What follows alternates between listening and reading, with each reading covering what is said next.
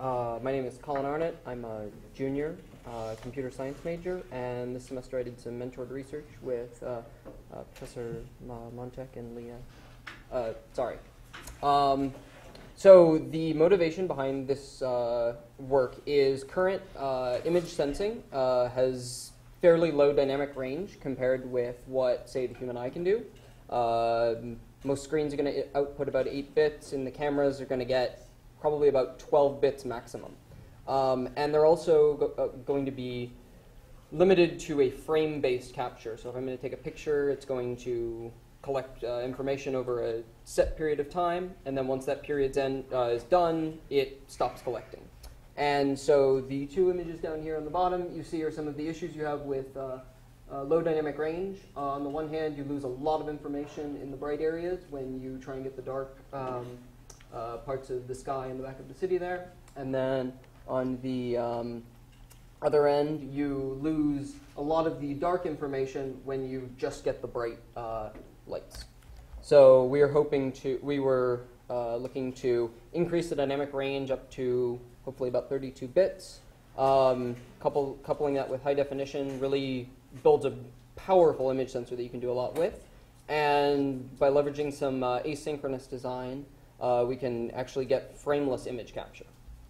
So the typical organization for a uh, image sensor is going to have the sensor array, uh, shown here in red, and some processing logic off down to the bottom. Uh, the sensor array is going to be comprised of rows, uh, sorry, columns that all have uh, individual pixels in it, and they're going to have some shared uh, uh, logic that allows them to push, the, oh, push that down in, uh, to the processing logic, and you can see the arrows down there at the bottom. Uh, the, each pixel is going to have three major components to it. Uh, the photoreceptor, an integrator, basically a capacitor, and then some sort of in-pixel processing. Uh, the photodetector is basically uh, photosilicon, and it's allowing you to take light in and convert that into electrons, and then that gets pushed off to the integrator. The, that will uh, basically functions like uh, one would a bucket in a rainstorm. Uh, you collect uh, electrons, in this case water droplets, and you can have small buckets and large buckets, and there are trade-offs there. Uh, your smaller buckets are going to give you uh, more information in the dark areas, but you'll start to see the washing out from the previous slide that you'd see in the bright areas. Like, which is complemented by if you've got a big bucket, you really lose a lot of information in the dark areas. Uh, the in-pixel processing can usually usually ends up going one of two ways. Either you can uh, convert the analog signal coming out of the uh, integrator because it's a pretty analog component uh, into a digital signal and then push it down the pipeline uh, over on the side, or you can send down all analog signals. And frequently, you see cheaper cameras and cheaper sensors use the analog approach uh, because there's less uh, circuitry involved in actually uh, less circuitry in the pixel, and that's adva- it's, it's advantageous because you can get a larger photodetector, but you you're going to lose a lot of information from uh, noise and other uh, electrical interference like crosstalk. Um, the uh, so the prior art for what we were uh, looking to uh, build off of usually uses an approach where the in-pixel processing is going to output uh, discrete events, and then the discrete events are going to be summed up in the logic that's off down at the bottom of the chip. Um, the accuracy here is going to be limited to the number of events that you can record, and that it gives you a very integer-based uh, way of counting things, and it's easier to implement, but has some flaws that I'll uh, get to later. Um, you also, because this is a framed system, are going to lose any partially filled buckets. So if you've got a really, really dark region, you might only get one photon, or not even a photon, or say part of the bucket is going to get filled, and you won't be able to dump the entire bucket, which won't generate an event, but there is some information there um, that you are losing. What's an event? Uh, in this case, events are uh, a one time that the capacitor is going to fill and empty. So every time that empties, uh, it's going to uh, push a signal to the in-pixel processing unit, and that will uh, generate in in the uh, analog to digital version. Uh, it will send a digital signal down the wire, and that's an event. Um, so the approach that we were looking to take was to combine uh, two uh, two things. One, we want to instead of measuring event discrete events, we were looking to measure the time between events, and that allows us to instead of have a linear scale, we can use the inverse of the linear scale and get a really nice gradation. Uh, the asynchronous nature uh, allows us to uh, get away from this notion of frames, and we can really look at the very dark pixels and very bright pixels differently. Um, as I was indicating, so this is what you would see. Uh, the prior art here is going to have these discrete steps, and they're going to show that either you'll have a value at 1 or at 2, but since we're using time in between, we can get roughly uh, 10 to the 6th uh, increase in terms of um, uh, information that we're transmitting because we can uh, get all those little steps in between.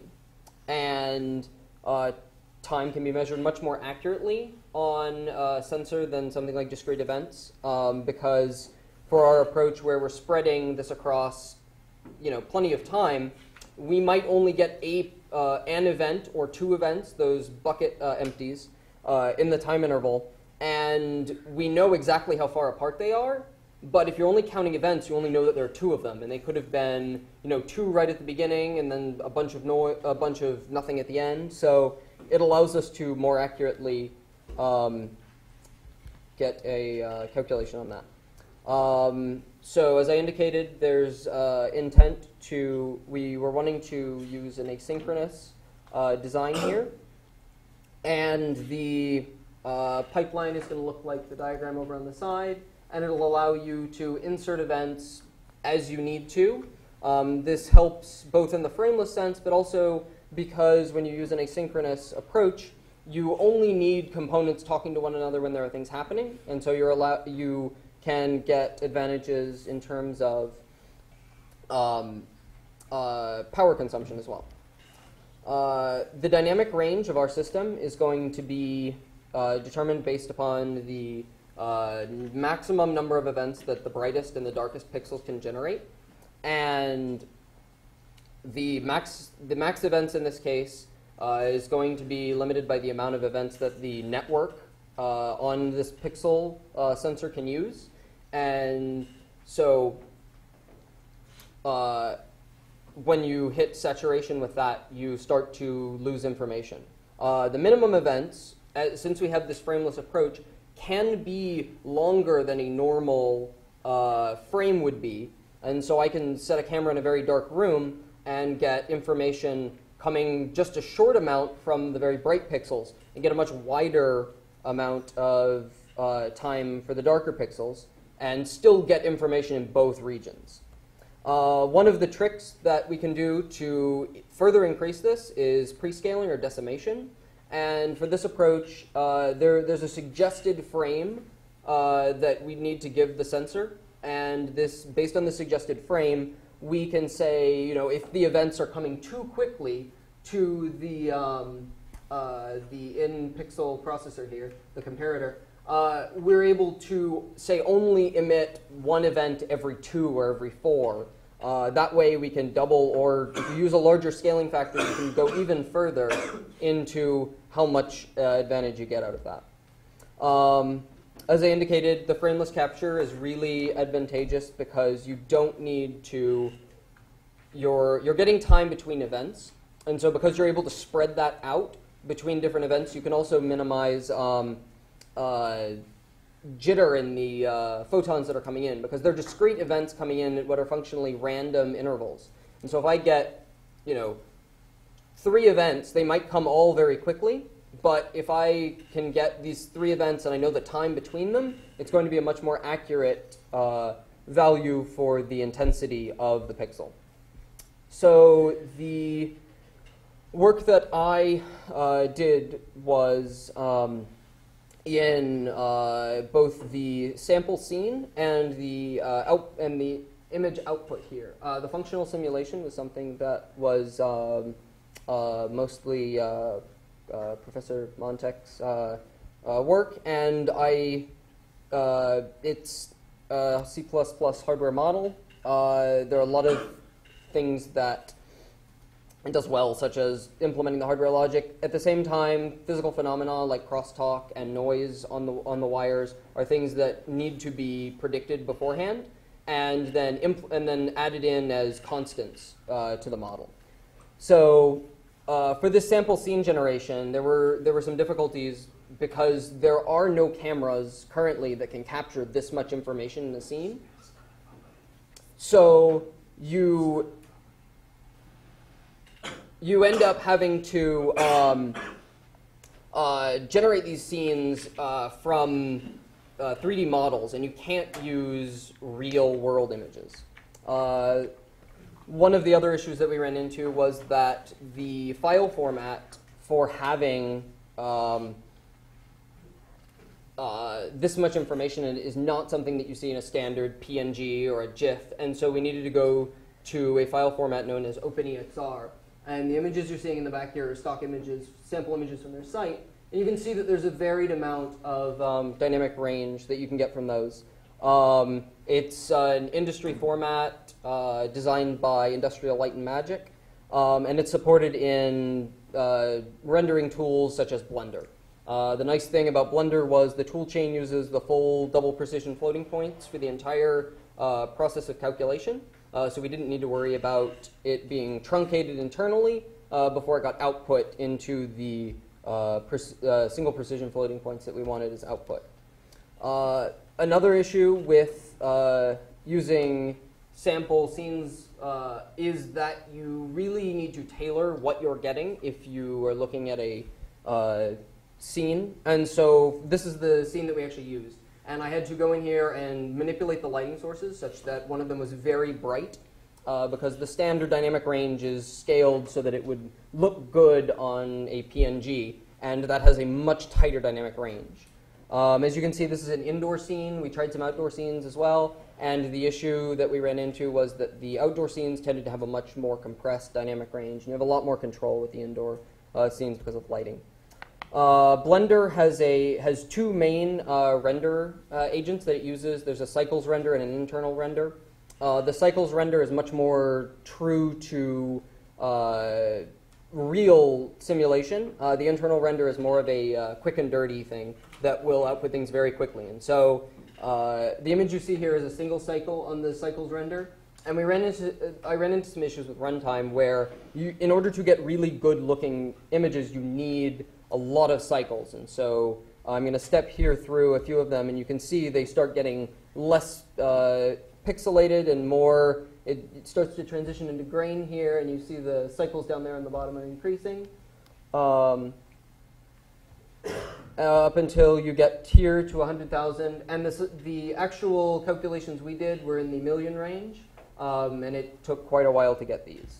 Uh, the simulation itself output basically raw um, uh, unencoded floating points, and so I had to uh, both convert initially the OpenEXR format into a format that the simulation could handle, and then back into uh, the OpenEXR format to display later.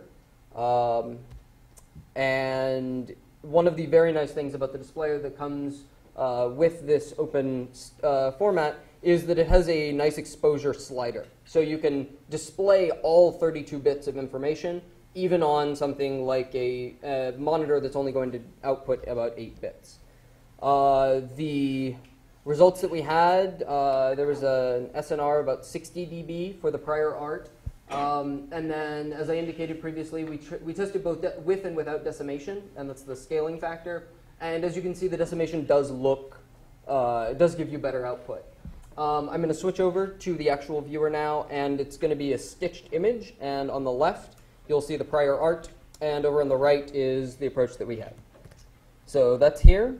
And uh, let me start here, the dark region first. So the prior art, as you can see, is having a lot of issue with the very, very bright lights because the way that this is displaying exposure, only the brightest lights are being, uh, only the brightest uh, pixels are being shown right now. And so as we continue to step up here, we see that this scene starts to come into view. And if you, uh, if you were to compare this to the other images I was showing you previously, this white region here is the same as the washed out um, uh, building in front of the uh, St. Uh, St. Louis Arch. And if we keep going, you'll start to see what is referred to as banding here in the corner. And this banding is because of the fact that the prior art uses an integer based system to keep track of the very, very dark regions. But over on the right, our method does not use this, and thus you see a clean transition with no banding. And that continues up until uh, the image basically just washes out. All right. Uh, any questions?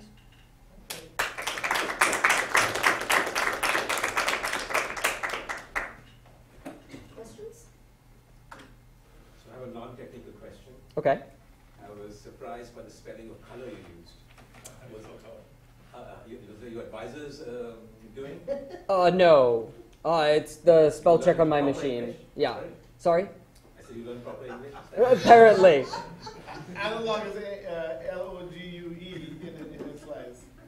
Um, Can you explain the dB numbers, what those really mean? Um, so it's a signal to noise ratio. Um, it's an indication. So we had a sample image, uh, sort of a source image, and so we could compare directly what the sensors should be outputting as a sort of perfect scene, as compared with what actually came out of the simulation.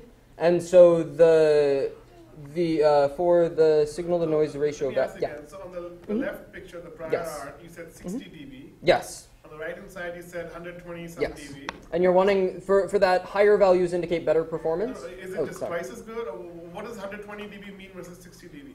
Um, it that that's the distinction between the uh, what you're seeing. The it's the amount of loss that you're seeing in terms of the very very bright pixels and the very dark pixels. So 60 dB means about 1 to a 1,000, Okay. and 120 dB means 1 to a million. So the noise in that picture is a 1,000 times less.